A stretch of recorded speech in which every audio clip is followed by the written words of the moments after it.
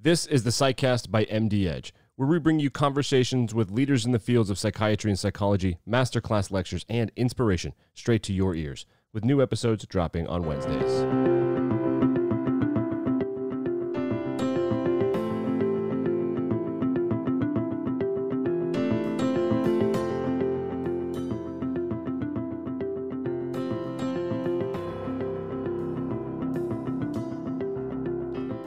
And welcome to episode 114 of the Psychcast by MD Edge. I am the voice of MD Edge podcasts, Nick Andrews, and I'm joined this week by Dr. Lorenzo Norris, editor in chief of MD Edge Psychiatry and the host of the Psychcast by MD Edge. Dr. Norris, uh, as COVID, we did COVID, COVID, COVID, COVID.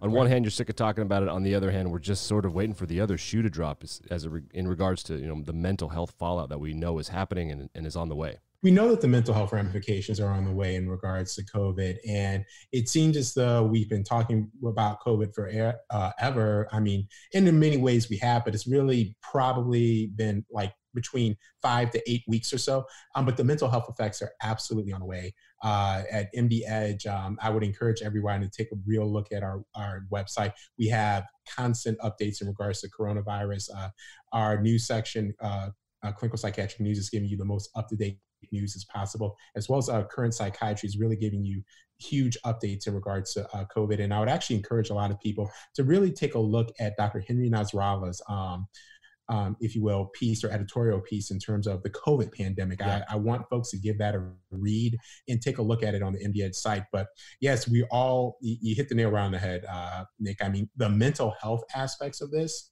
are just starting and it's really after any disaster or any type of large scale event right. the mental health piece is huge and we don't want to just flood your ears with COVID stuff, but that's something that is going to be very important. And we're going to continue to do that. We did it last episode on episode 113 with Dr. Jacqueline Posada, and we will continue to do that in the future. But this week we have something rather exciting. So, for those of you that don't know, MD Edge, which is a media brand, is owned and operated by the same parent company that owns and operates Medscape.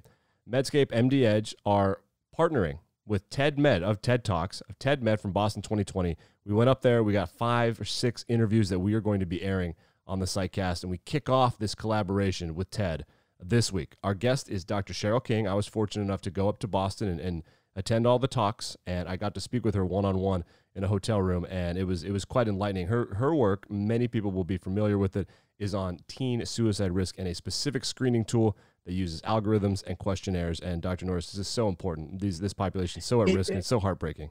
One, the collaboration between MD Edge and TED is, um, as well as I'm sorry, Medscape and TED, and consequently MD Edge is phenomenal. And then, uh, obviously, most importantly, you are correct in regards to the epidemic. I, the word is kind of overused, um, sure. um, but in regards to what we're seeing in terms of teen suicide, we know that suicide is the leading cause of death for youth ages 10 to 19 years old we know that the suicide rates have been increasing um, since roughly since I want to say since 2000 in the age range of t- uh, 10 and 19 year olds by 53%. This is shattering. Yeah. This is um, this you don't really have words for it. Um, and we know that um, 500 youth approximately between the ages of 10 and 14 die by suicide.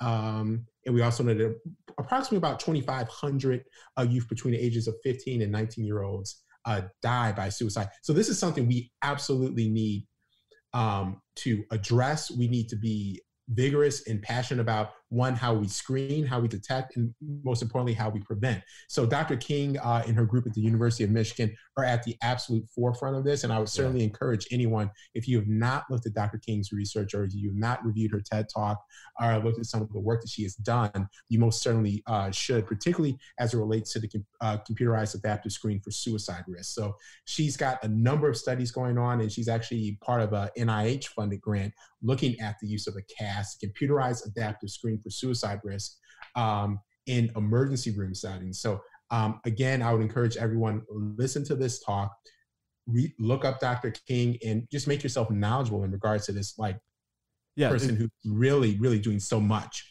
Yeah, she's been working on this her whole career, and of course, she mentions yep. that in, in the conversation. If you have any thoughts on this episode or other episodes, or if you have any thoughts on how we should cover COVID, what you're experiencing in your clinic or in your classroom or with your residents or fellows or what have you, please email us at podcast at mdedge.com. We would love to hear from you. This is your medium. This is a podcaster on demand. You vote for it every time you listen to it. So if you want to hear something or if you want to say something, we encourage you to do that. You can also find us on Twitter at mdedgepsych. Of course, the email address and the Twitter account are available via link in the podcast notes. We have other TED interviews coming up. The collaboration with TED is all about content. Make that very clear. And all of it, we try to make a clinical angle. Topics includes uh, psychedelics as therapy at Johns Hopkins University. Very exciting stuff. Um, and a bunch of other stuff. So that's coming this spring and this summer right here at MD Edge. And we're going to kick off the first one coming up right after this. Dr. Norris, thanks so much. Thank you as always, Nick.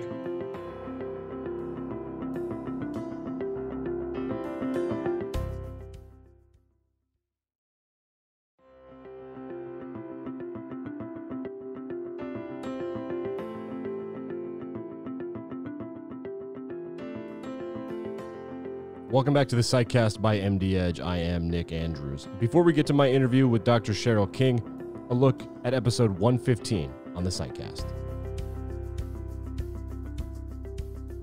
It was a 16 year old boy who told me as I was evaluating him that he sat in a bathroom stall every day at lunch because he was too overwhelmed to go into the cafeteria.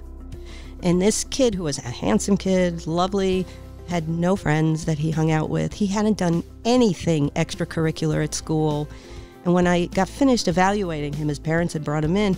I asked him what he wanted to do with the rest, you know, five years from now, where he saw himself. And he looked at me and he looked at me and said, If these are supposed to be the best years of my life, I don't want to be alive. It's time now for my interview with Dr. Cheryl King from TED Med 2020 in Boston, Massachusetts.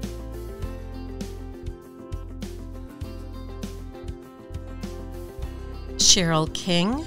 I am a clinical psychologist and a professor in the Department of Psychiatry at Michigan Medicine, which is the academic health system at the University of Michigan.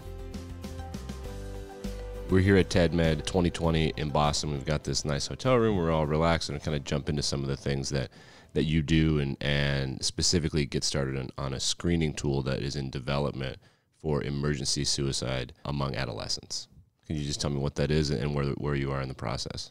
Yes, we're developing a, personalized adaptive suicide risk screen for teens, which is different than the, teen, the screens we have available now um, because it's based on computerized algorithms.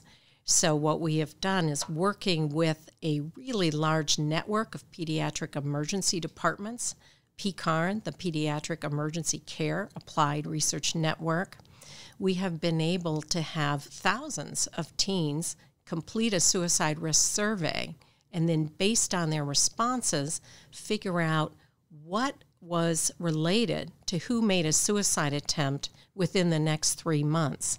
And because it was such a large number of teens, it was possible to develop computerized algorithms so that in the final screen, the questions teens are asked depend on their response to previous questions.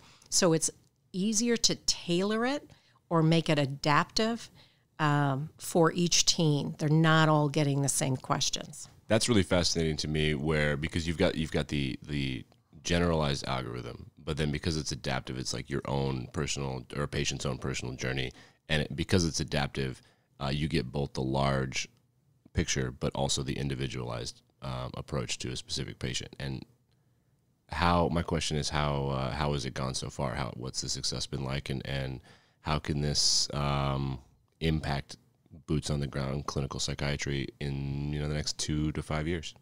So the screen that we've developed looks good. Um, we're doing a second validation, but uh, out of the gate, it's looking very strong. Um, it differs from our more classical or traditional screens because they ask the same number of questions to everyone. So, in terms of the accuracy for the individual, it's not quite as strong. Uh, we have compared it to a currently available screen, which is actually quite good, the ASQ, and it does outperform that in terms of the classification accuracy. the accuracy of figuring out if you have a suicide attempt risk. Now, there's a couple of things we think about with these screens. One is its sensitivity. Does it actually pick up everyone who's at risk? And the other is its specificity, Sure. meaning we don't want too many false positives. We don't want to pick up a lot of teens not at risk because it's a big workload for the emergency department to come in and do these mental health evaluations. Um, the ASQ and the one we developed, which we're calling the CASSY, Computerized Adaptive Screen for Suicidal Youth, um, have comparable sensitivity in some ways. But what's unique about the one we've developed, it doesn't have as many false positives. Wow. That's uh, obviously pretty encouraging. That sort of specificity and that accuracy could probably make a big difference to emergency departments. And I imagine to the entire care team, because you've got the emergency department, uh, pediatrician, and, and uh, a psychiatry component as well. So I guess this is pretty exciting stuff um, in terms of the way the field is moving. But uh, how did you get started on this, and what was your motivation to kind of look into this? You said you did the research to kind of find out the questions and how the algorithm works, but when what was the genesis of this for you? Yeah, for me, I've been working um, as a clinical scientist on teen suicide prevention for a very long time, working on developing screening approaches, risk assessment, um, understanding, and interventions for teens at risk for suicide. And one thing in the last 20, 25 years of research, we'd really already established the risk factors. Sure. You know, what, what's putting these teens at risk? But there are many of them because teens who are suicidal make up a really heterogeneous group of people. A lot of different combinations of risk factors can make a teen suicidal. So it seemed like we were at a place where we could actually survey them for all of these. And then from that, develop algorithms, the different patterns or profiles of risk, and do a better job at screening than we had done previously. So some of it is just um, the area I've been working in, but it's also the timing. We were ready to do this now. Yeah, no, that um, it seems like it's a really advantageous moment for this to happen. So, uh, just walk me through the process of someone is screened with this new CASSY and they screen positive, and it seems to be. Um, is, are there different levels of, of positivity where this is a lot of red flags, and then what happens to the patient? What's the next step for the care team in the emergency department? A really important next step is to develop these these triage algorithms or the decision points for when is a mental health evaluation indicated? When is it a second tier set of questions to decide if we need a full mental health evaluation? But the way the CASSY works, you actually get a level of risk. It's continuous. So it's not a yes no screen, this teen's at risk. You can uh, set a different level. So presumably, an emergency department could say, this is our comfort level where if a teen scores above this, we want to bring in a mental health professional to do a full evaluation, and we have the resources to manage it at this level. So we may end up making some recommendations, for instance, three tiers, no risk, um, moderate, medium risk. These youth, higher risk, more acute, you really want to be sure that you look closely at. But I think it would also be left where an emergency department could, um, the providers, the system could make some of their own decisions about the level that they might want to use. Yeah, no, that makes sense to me as well. Okay, so, um, and I, I'm claiming ignorance here, but could you talk to me about how someone experiencing these symptoms winds up in an emergency department in the first place? Uh, in, in terms of an adolescent, you don't often, or I don't, just as a layperson, often think about uh, a mental health emergency the way I think of my my ankle is broken, um, I have the flu, where you would run to the ED right away. But when when is it a mental health uh, situation that takes someone to the ED, or is it a screen that can be applied to anyone with any sort of suspicion that winds up in the ED for another reason, say a drug overdose? Yeah, the CASSY, the screen that we are developing, is intended to be a universal screen. Mm-hmm.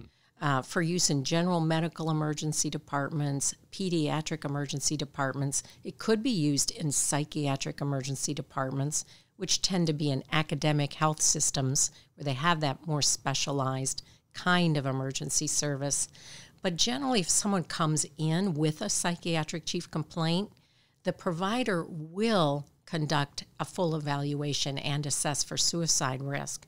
So, some of our intent in developing this is to screen those who aren't coming in for suicide risk and find the risk that's out there. Because many teens who die by suicide um, have never had any mental health services before. Mm-hmm. And as many as half of the teens who die by suicide die on their first suicide attempt. So trying to proactively find the the youth at risk, the boys and girls, but it's maybe especially important to find the boys at risk because um, they are just less likely to come in for mental health services. Um, in our psychiatric hospitals, if we look at teens who've been hospitalized for suicide risk, it's often two thirds girls and one third boys. And yet, if you look at who dies by suicide in these years in the United States, 75% of the teen, young adult suicide deaths are males. They're the boys. Wow, that's incredible. What is what a number? Um, so, what is the? I don't want to ask for a specific timeline, but what's the likelihood that this is available to the general uh, practicing public in the next 12 to 36 months? Yeah, I think it's very likely that we'll get it out within that time frame. Um, definitely within three years. I think emergency departments will make choices. The CASSY does require require. Um, you might be editing. The sure. CASSY does require uh, integration with software. It's a program. Um, can, you tell, or, can, you specify on that program software? Mm-hmm. Yeah. Yeah, it can, could be integrated into an Epic or an electronic health record gotcha. system at a cost, or an emergency department could um, make a an agreement with a company that distributes it to directly program it separately from Epic. I think many hospital systems like to integrate these tools into their electronic health record, but there would be options. And emergency departments that didn't want to take that step or take that step yet to begin using the CASSY, there are still these other tools that are sure. also very good, like the ASQ. Okay, now that that makes sense to me. So available. Oh, pardon me. available soon.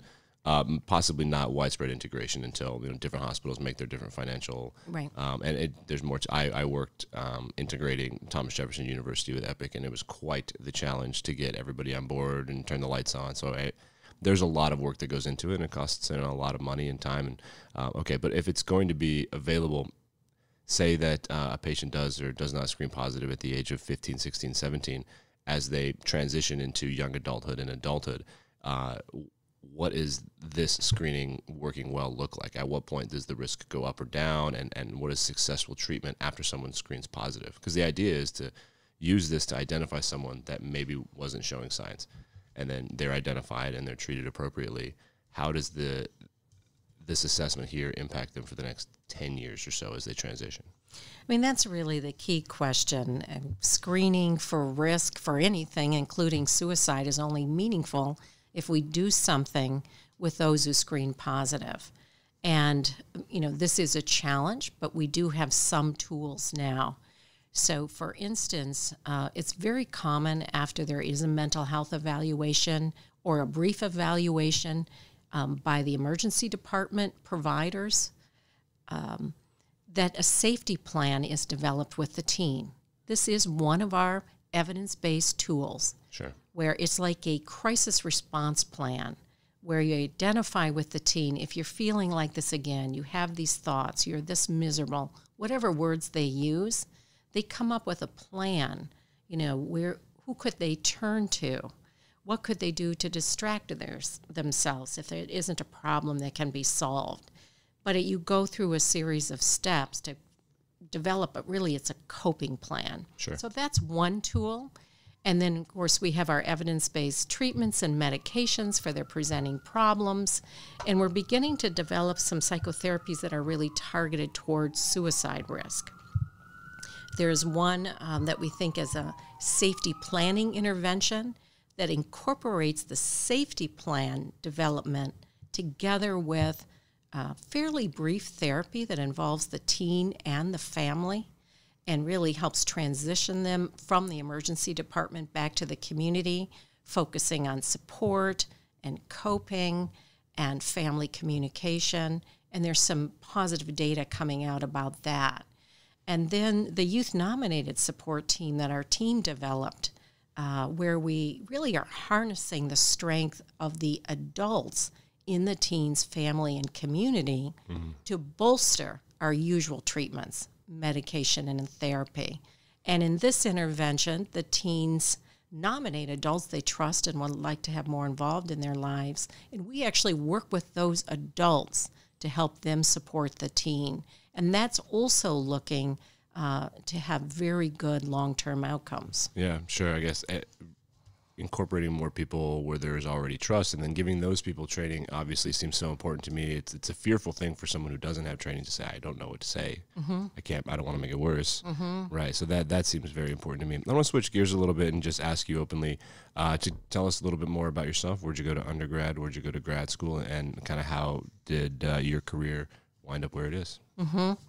Well, I was born in Detroit, Michigan. Grew up in the suburbs of Michigan. Not South Detroit, though. That's not a real neighborhood, right?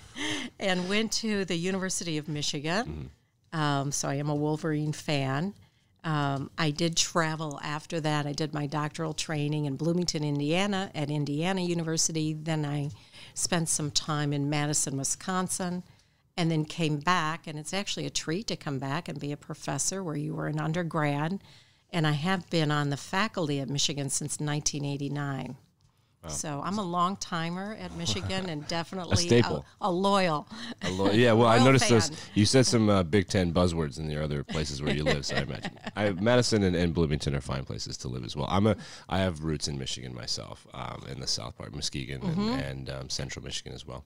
So I, I, identify with the fandom that happens in, in that particular state. So you're moving around and, and you find this passion to, to work with this patient population and, and work um, trying to prevent and screen, et cetera. But what else are you doing? We've spent a lot of time talking about CASSY, but what, uh, what else is going on for you?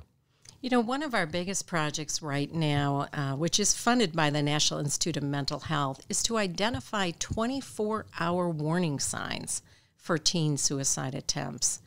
Uh, and we do this by following them for a long period of time with text message surveys, where every couple of weeks they're just responding to a brief number of questions about about their mood, their support, any sleep disturbance, alcohol, drug use. And in there, we have a question about whether they've made a suicide attempt.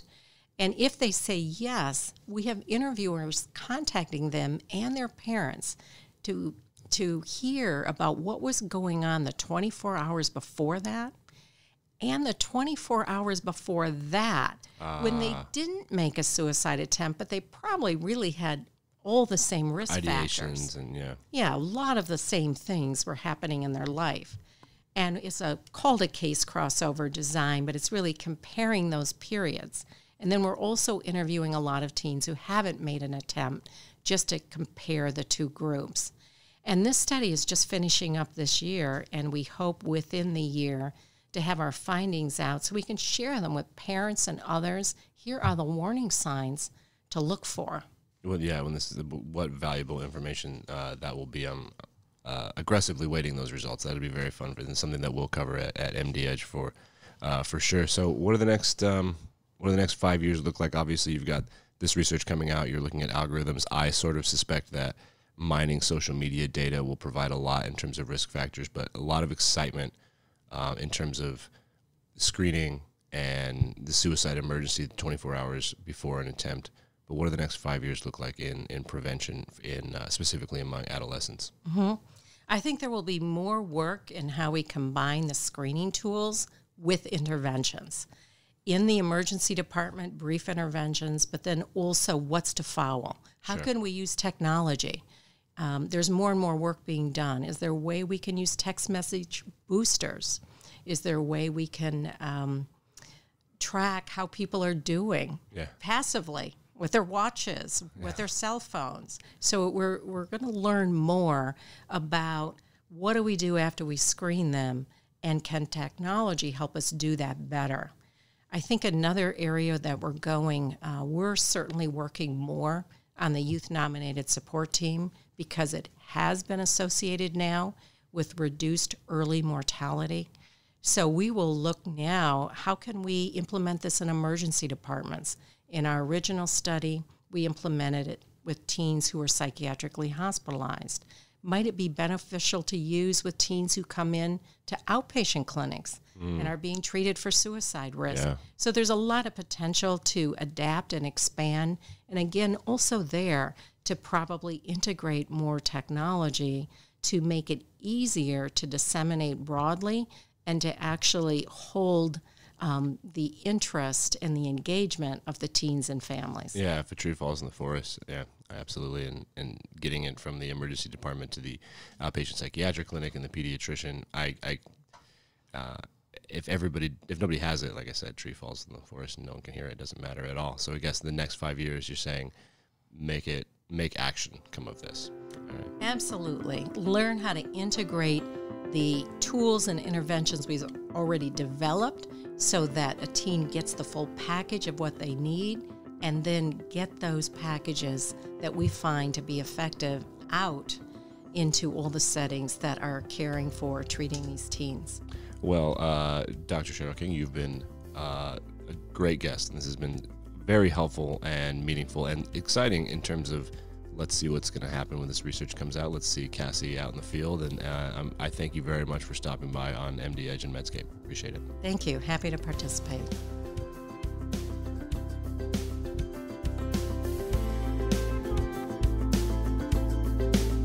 This concludes episode 114 of the Psychcast by MD Edge. Episode 114 was a collaboration between MD Edge, Medscape, and TED Med. The Psychcast is produced by MD Edge editors Gina Henderson and Jeff Bauer. Our guest this week was Dr. Cheryl King, PhD, University of Michigan. The editor in chief of MD Edge Psychiatry and the host of this show is Dr. Lorenzo Norris. All of our podcasts are produced by MD Edge and Medscape editor in chief, Dr. Ivan Oransky, as well as MD Edge executive editors Kathy Scarbeck and Mary Ellen Schneider, and multimedia editor Terry Rudd. Social media is produced by Kyla Clark. Special thanks to Crystal Nadani of Medscape and WebMD. I am your audio engineer, audio editor, and the interviewer for this episode, Nick Andrews.